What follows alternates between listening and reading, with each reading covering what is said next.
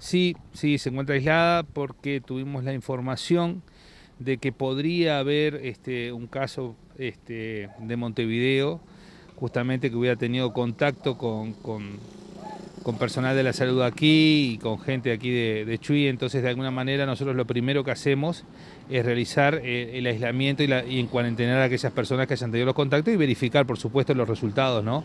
De si esas personas realmente son eh, positivos es un médico acá, es alguien que viene de Montevideo y por eso buscan los contactos que ella mantuvo.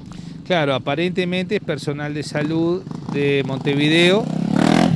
Este, como todos saben, la mayoría del personal de salud este, vive del multiempleo. Este, entonces, de alguna manera, ahora si se confirma, nosotros tenemos que seguir realizando todos los aislamientos y las cuarentenas que correspondan hasta tanto no tener los resultados de todos los hisopados.